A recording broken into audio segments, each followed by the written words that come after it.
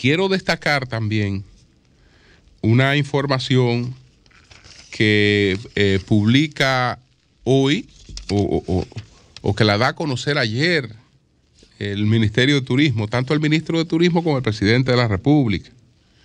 Y esto es realmente eh, importante que nos presentemos ahora a FITUR 2023 con estos resultados que hemos tenido en el turismo en la República Dominicana durante el año 2022. Estamos hablando de que eh, la República Dominicana superó los 7 millones de turistas. 7 millones 165 mil 387 turistas nos visitaron. Entonces, eh, dice el, el, Ministerio de Turismo que hubo una generación en divisa eh, sobre los 8 mil millones de dólares. Fíjense que esta, esta suma es igual a la que refería en el día de ayer el presidente de la Asociación Dominicana de Zonas Francas. Al totalizar las exportaciones de zona franca, estamos hablando de 8 mil millones de dólares.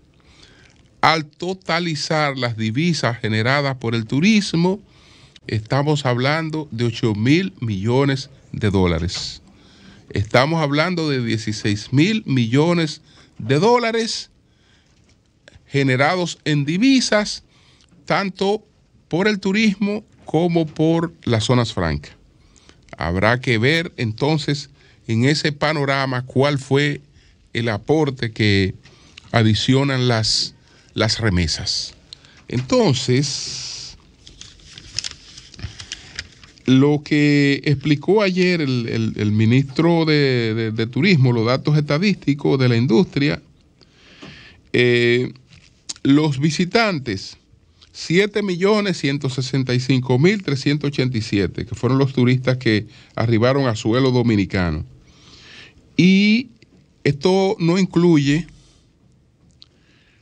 1.311.129 cruceristas registrados en enero-diciembre del total de, de turistas, de, bueno, del total de los turistas de 765.910 corresponden a diciembre pasado. Es decir, diciembre pasado fue eh, uno de los mejores meses eh, históricos en cuanto a la cantidad de, de turistas que recibimos. Crecimos en un 10% respecto a 2019 en materia de llegada de turistas por vía aérea y crecimos en un 20% en materia de llegada de visitantes por vía de, cruceros respecto eh, a ese año.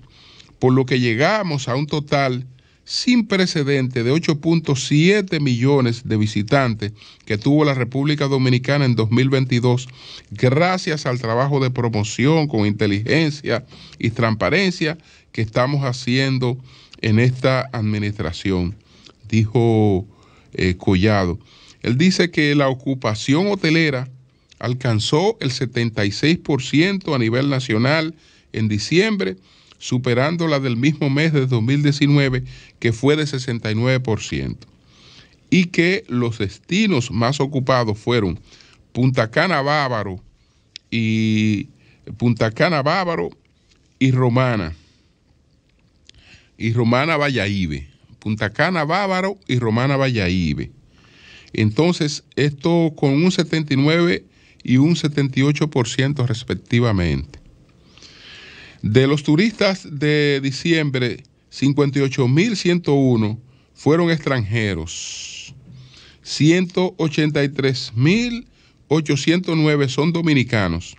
En diciembre llegaron el 9% más extranjeros que en el año 2021 y un 23% más que en el año 2019. En cuanto a los dominicanos, representan el 4% más en 2021 y 22% más que en el año 2019. Entonces, La llegada por vía aérea en diciembre al aeropuerto de Punta Cana registraron 425 mil personas, mientras que por las Américas fueron 206 mil, de los cuales la mayor parte procedían de Estados Unidos, Canadá, Colombia, Argentina y Alemania. Entonces, eh, por vía marítima, 125.639 llegaron por Amber Cove, 46.870 por Taino Bay y 39.756 por Sanssouci y unos 4.598 por Samaná, con 100 operaciones en total.